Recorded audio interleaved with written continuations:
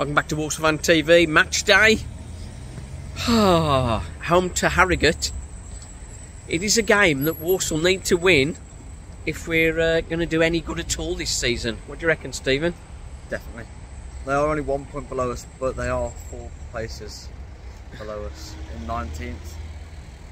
I think um, a win today is, will definitely make us a bit more comfortable. We won't probably go that far, probably up to 10th, but every point counts, especially on the way up to January, and like with recruiting players as well, and with the amount of injuries we're having as well.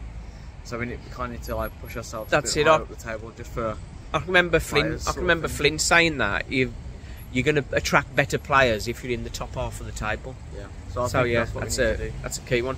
Right then, time to get some food. We're going to Smash Burger, and uh, and then see you in a bit.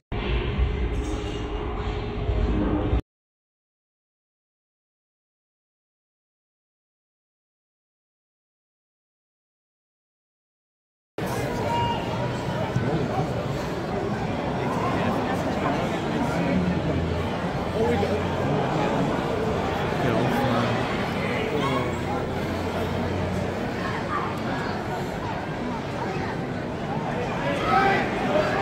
closing down. There's no proper shot.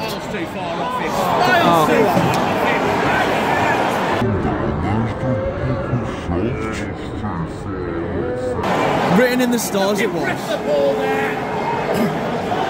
so obvious that was going to happen. So obvious. Shambles. Shambles, Walsall.